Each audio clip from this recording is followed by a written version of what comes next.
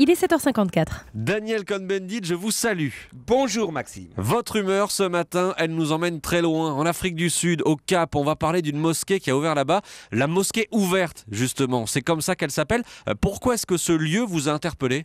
Écoutez, quand j'ai lu ça, euh, je n'y croyais pas. C'est un, un conte de Noël, si vous voulez. Donc, cette open mosque, cette mosquée ouverte, eh bien, elle est dans un quartier du Cap. Elle est ouverte à tout le monde. Elle est ouverte aux chrétiens, aux juifs, aux homosexuels, aux femmes, aux hommes. Et l'imam qui a créé donc cette mosquée, eh bien, c'est un prof de Oxford. Et pour lui, eh bien, l'islam peut se moderniser et il défend donc une idée d'un islam complètement ouvert. Alors ça, c'est ce qu'il dit, mais vous avez vu, Dani, en l'espace de quelques semaines, elle a subi cette mosquée un incendie volontaire. Elle a dû fermer ses portes après une vague affaire de manque de place de parking.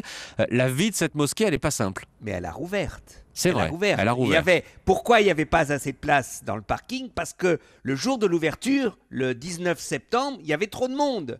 Car c'était justement une mosque qui attire du monde. Et d'ailleurs, dans le bureau de cette mosque, eh bien, il y a cinq, la, la direction de cette mosque, il y a neuf personnes, cinq hommes et, et quatre femmes. C'est presque la parité. Et même, il y a une femme eh bien, qui est imam et qui, elle, de, de temps en temps, c'est elle qui lit les prières. C'est révolutionnaire. Et alors, évidemment, la responsable de cette mosque dit Je sais que je dois d'abord essayer de persuader euh, les musulmans du Cap avant d'aller à Kaboul. Et c'est pas demain qu'elle arrivera à faire cela à Kaboul. Mais la chose, une chose est certaine, il y a une possibilité d'interpréter l'islam complètement différemment. Les femmes et les hommes sont dans la même salle.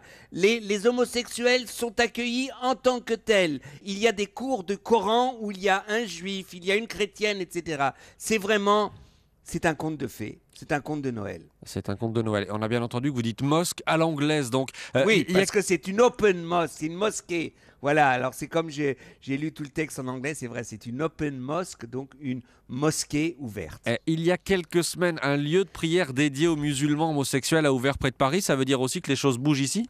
Absolument. Absolument. Je crois que euh, on, ne, on ne nous décrit toujours que l'intégrisme barbare, méchant qui tue. Cela existe et les, et, et les attentats existent, mais il y a aussi à l'intérieur du monde musulman un islam qui se modernise, comme il y a à l'intérieur du monde chrétien, eh bien, des chrétiens qui se modernisent, ou à l'intérieur du monde juif, des juifs qui se modernisent. Voilà, l'islam, des fois, c'est plus difficile, mais ça avance quand même. L'humeur de Danny Cohn-Bendit. Merci, Danny. À demain. À demain, Maxime. Il est 7h57 sur Europe 1 à suivre le journal de Chloé Triomphe.